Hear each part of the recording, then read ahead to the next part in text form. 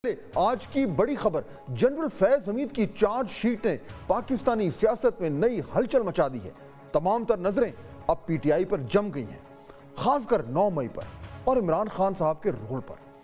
कल से हर तरफ़ एक ही सवाल की गूंज सुनाई दे रही है कि क्या बानी तरीक इंसाफ भी मिलिट्री कोर्ट्स के कटहरे में जाने वाले हैं? यही वजह है कि आज दिन भर तहरीक इंसाफ के लीडर्स फैज हमीद के हवाले से सफाइयाँ पेश करते नज़र आए। जो जिधर जिस सहाफ़ी के हाथ आया, उसे ऐसे ही सवाल का सामना करना पड़ा।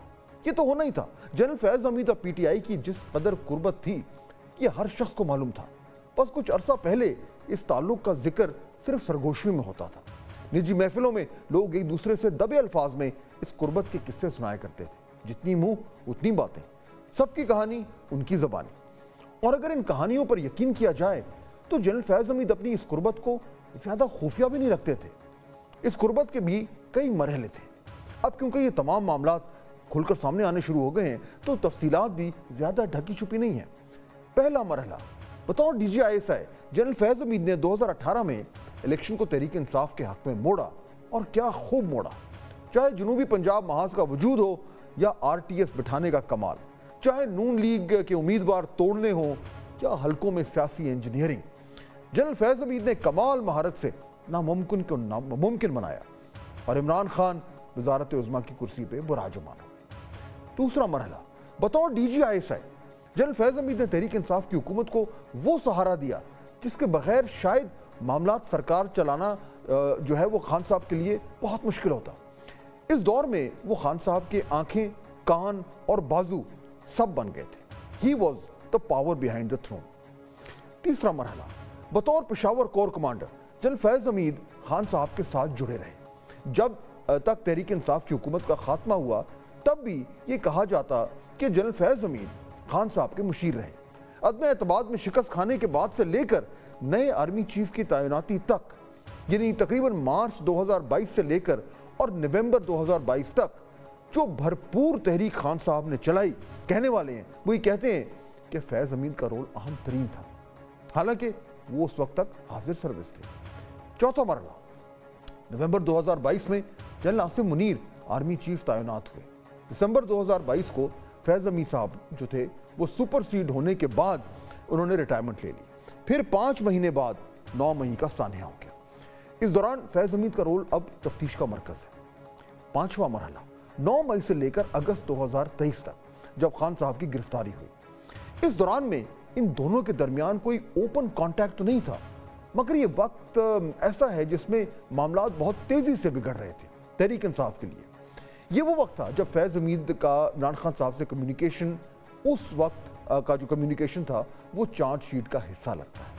और इसके शवाहिद आने वाले ट्रायल में अहम किरदार अदा कर रहे हैं। इसके साथ साथ उन मराहल में फैज़ हमीद के के पी हुकूमत के मामला में जो जो उनका रोल था, वो भी अब तवज्जो का मरकज़ है और शायद तफ्तीश का भी। इसीलिए नाजरीन, जनरल फैज हमीद पर चार्जशीट आयद होने के 24 घंटे में किसी हद तक सारा मामला पीटीआई और बानी चेयरमैन तहरीक इंसाफ की जानब मुड़ गया है।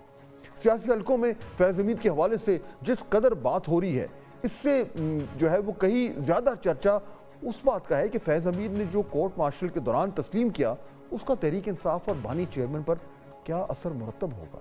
यानी फैज़ हमीद का कोर्ट मार्शल और उसके नतज बरह रास्त मुल्क की बड़ी जमात और उसके लीडर के साथ मुंसलिक या तो हो गए हैं या लग रहा है कि होने वाले हैं। जो ही फैज़ हमीद के चार्जशीट की खबर आई तो इस्टेब्लिशमेंट हुकूमत दोनों की खबर रखने वाले फैसल वाडा ने मीडिया पर बयान देना शुरू कर दिए और जो बयान उन्होंने दिए, वो इंतहाई संगीन नौीयत के हैं, जिसमें वो बता रहे हैं कि फैज़ हमीद को अगर सज़ा होती है तो माजी में उनके करीब समझे जाने वाली तरीके इंसाफ और बानी चेयरमैन भी किसी तरह बच नहीं पाएँगे। उनके बयान से लगता यूँ है कि फैज़ हमीद का कोर्ट मार्शल एक कानूनी कार्रवाई के साथ साथ एक सियासी हैसियत भी रखता है। इसकी वजह भी तहरीक इंसाफ और इमरान खान ही। फैसल वाडा ने यहाँ तक कह दिया कि इमरान खान को उम्र कैद या फांसी जैसी संगीन सजाओं का सामना भी हो सकता है। फैसल वाडा कई बार ये बात कर चुके हैं कि बानी पीटीआई की मुश्किल में बुशरा बीबी का अहम किरदार है और बुशरा बीबी ने उनको इस नहज पर पहुँचाने में किरदार अदा किया है। लेकिन कल वो इस बात से भी दो कदम आगे बढ़ गए। और कहा कि बानी चेयरमैन को अपना ताल्लुक बुशरा बीबी से बिल्कुल ख़त्म कर लेना चाहिए। ने को तलाक देनी है। ये मैंने मशवरा दिया था जब मुझसे मशवरा मांगा गया और सिस्टम का मशवरा मैंने दिया एक तलाक नून लीग होनी चाहिए। अगर इमरान खान साहब को अपनी जाँच से हाथ धोना नहीं है तो उनको इस चीज़ को कर देखना कंसिडर करके करना ज़रूरी है बाकी उनकी मर्ज़ी फैसल वाडा के बयान पर बैरिस्टर गौहर कहते हैं कि बानी चेयरमैन की जान को किसी से कोई खतरा नहीं। यहाँ उनका इशारा बुशरा बीबी की तरफ़। इंशाल्लाह नहीं है, किसी अपने लोगों से। किसी सूरत नहीं है बुशरा बीबी खान साहब की वाइफ है और वो खान साहब के साथ खड़ी है। और उसका जुर्म ही सिर्फ़ इतना ही है कि वो खान साहब की वाइफ है। अदरवाइज़ उनका तो शखाना के साथ भी कोई ताल्लुक नहीं था। उसको जोड़ा भी इसलिए जा रहा कि खान साहब पे प्रेशर फैज अमीद की चार्जशीट की खबर के बाद फैसल वाडा फ्रंट फुट पर है। खुलकर बयान दे रहे हैं। तरीक इंसाफ और उनके बानी की मुश्किल का तस्करा कर रहे हैं। जबकि हुकूमत की तरफ़ से वज़ीर दिफा ख्वाजा आसिफ का बयान ज़रूर आया, लेकिन फ़िलहाल बाकी तरफ़ से कुछ हद तक खामोशी है। शायद इसकी वजह यह है कि जब हुकूमत का काम खुद खुद हो रहा है तो उन्हें पार्टी बनने की ज़रूरत नहीं।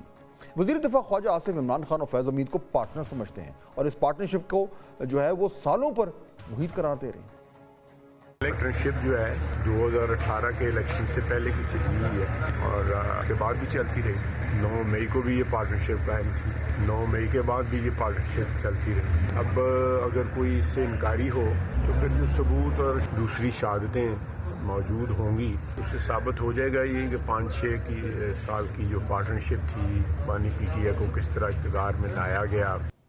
तहरीक इंसाफ अच्छी तरह जानती है कि फैज़ जमीद का उनकी पार्टी और बानी के बारे में कुछ भी कहना बहुत ही, यानी सेंसिटिव मैटर है। लेकिन वो प्रिटेंड ऐसा कर रहे हैं जैसे कुछ हुआ ही नहीं। इसीलिए बैरिस्टर गौहर फैज़ उमीद के मामले को इदारे का अंदरूनी मामला करार दे रहे हैं।